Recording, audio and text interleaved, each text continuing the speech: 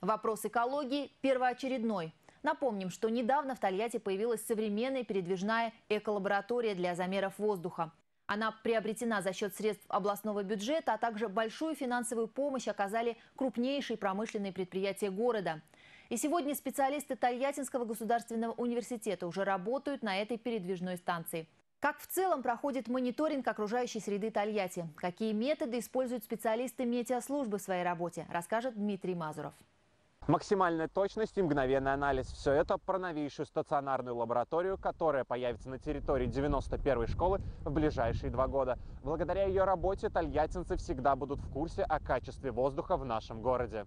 Таких лабораторий в нашем городе будет две около 91 и 93 школы. Их главное преимущество в том, что для замера воздуха не нужно будет выезжать специалисту. В автоматических лабораториях анализ будет происходить на месте. После забора воздуха информация будет автоматически передаваться на сервер управления по гидрометеорологии и мониторингу окружающей среды. Сегодня на территории нашего города работает несколько постов, с помощью которых лаборанты Тольяттинского гидрометцентра ежедневно проводят анализы по замерам воздуха в Тольятти и Жигулевске.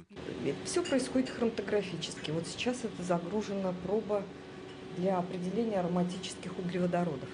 Это кропотливая работа, которая требует знаний, навыков, точности и терпения. Всего в этой лаборатории делается более 50 тысяч подобных анализов в год. Здесь следят за тем, чтобы вредные вещества в воздухе были в пределах нормы. В планах Тольяттинского гидрометцентра приобрести автоматические стационарные посты. Они будут оснащены современным оборудованием, которое позволит мониторить воздух по значительно большему числу параметров. На сегодня в городе мы определяем по государственной программе 23 примеси.